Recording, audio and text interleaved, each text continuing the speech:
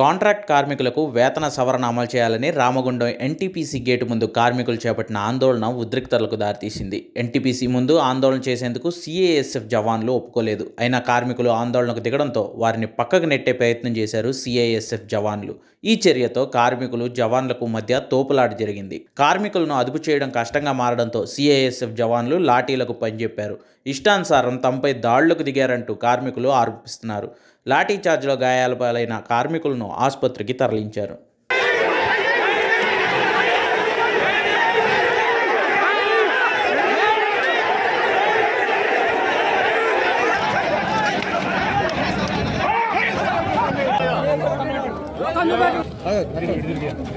గత నాలుగు సంవత్సరాల నుంచి పెండింగ్లో పెట్టిన అగ్రిమెంట్ అయిన పెండింగ్లో పెట్టిన అంశాలు ఏవైతే ఉన్నాయో అవిటి కోసం మేము ఈరోజు నిరసన కార్యక్రమం చేస్తుంటే అకస్మాత్తుగా సిఎస్ఎఫ్ అధికారులు డైరెక్ట్ కమాండెంట్ వచ్చి అందరి మీద లాఠీచార్జ్ చేసి కార్మికులను రెచ్చగొట్టి ఈ విధంగా చేసిండు. ఇది సరైన చర్య కాదు.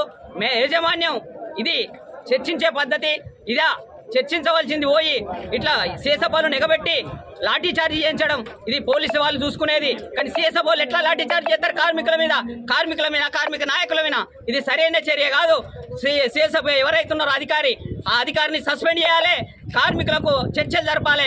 చర్చలు జరిపి ఏవైతున్నాయో న్యాయమైన డిమాండ్లు ఏవైతే మేము మూడు న్యాయమైన డిమాండ్లు ఏవైతున్నాయో అవి మాకు ఆ చర్చల్లో అగ్రిమెంట్ అయినాయి. ఆ అగ్రిమెంట్ అయిన మూడు ప్రమోషన్ పాలసీ ఒకటి ఐటీఐ ఒకటి సీనియర్ ప్రమోషన్ ఒకటి డిపెండెంట్ పెండింగ్లో ఉన్నది. ఆ మూడింటి అంశం మీద మేము ఇది చేస్తున్నాం. దాని మీద ఈ నిరసన కార్యక్రమం చేస్తే ఈరోజు పెద్ద ఎత్తున లాఠీచార్జ్ చేసి సిఎస్ఎఫ్ వాళ్ళు ఈ రకంగా కార్మికులను కార్మికుల నాయకులను రెచ్చగొట్టడం ఇది పద్ధతి కాదు. ఇప్పటికైనా యాజమాన్యం వచ్చి చర్చలు జరపాలి. అట్లాగే సిఎస్ఎఫ్ వాళ్ళు ఎవరైతే లాఠీచార్జ్ జరిపినో వాళ్ళ మీద చర్యలు తీసుకోవాలని మేము జేఏసీగా సిఐటిగా డిమాండ్ చేస్తున్నాం.